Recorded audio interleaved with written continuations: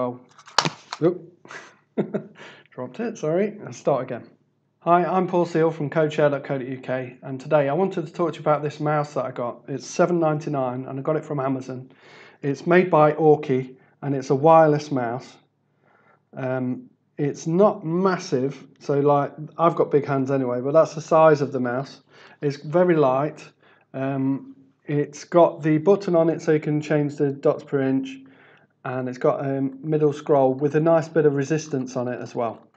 Um, I have got a Windows mouse uh, from Microsoft that's got no resistance whatsoever and I really don't like it. This has got a nice bit of resistance. It's got the forward and back buttons here um, or you can program them to be whatever you want them to be. Obviously left, left click, right click, um, you can middle click the mouse. That's a bit rude, sorry. I'll edit that out. Um, you so it's a wireless mouse. So this goes into your machine and in the USB port, and then it connects to it, and it just works. You just click the mouse, and then it comes alive, and you can start using it. I've had no issues with it whatsoever.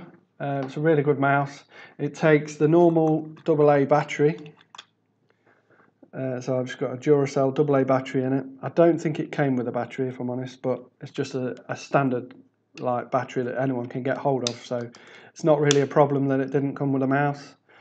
Um, yeah, I definitely recommend it. It's a good mouse, and as far as wireless mouse go, go this is.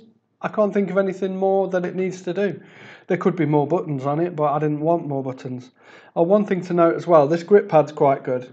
Uh, so on the last mouse that I had that I reviewed, it had a bit of a soft rubbery uh, pad here, and it was um, glued on. But over time, for some reason, that glue started seeping out and it was really annoying me. So with this one, as it's all plastic, it's all like one piece of plastic, you don't have that problem.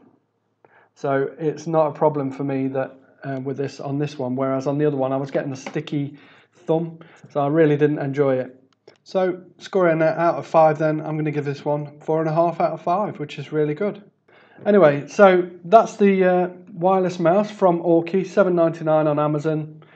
Um, if you need a wireless mouse, I'd recommend this one It's a good one to get. So thanks for watching. If you like the video, please click on like, subscribe to my channel. Uh, feel free to comment. And if you are watching this and you've got products you want me to review, feel free to send them me. Maybe get in touch with me first. All right, thanks for watching. Bye.